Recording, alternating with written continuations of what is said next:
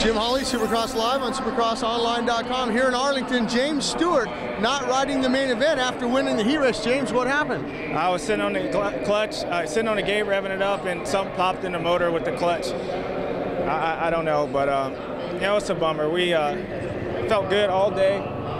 You know, the guys were, uh, you know, bust, busting their tail. We had a couple get-offs, but man, I, I felt back to normal today, and it's just a bummer I can't line up. So I was going for it tonight. So I think we had a shot. The heat race was good, but uh, at the end of the day, you know, it's just uh, Lord above.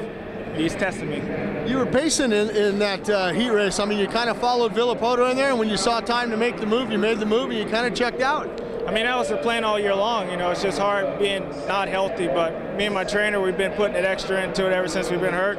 And, uh, you know, now it's starting to show. Just unfortunately, uh, we got the heat race all day was good. Just uh, wanted to get to the main event. Let me ask you this. In, in, practice today, we were doing, me and Kevin were calling Supercross Live during practice. We saw you go down a couple times hard in practice. Are you okay from that? No, I'm good. I'm good. Uh, you know, just the track's weird. It's slippery out here, and uh, damn, man, I want to be on that gate right now.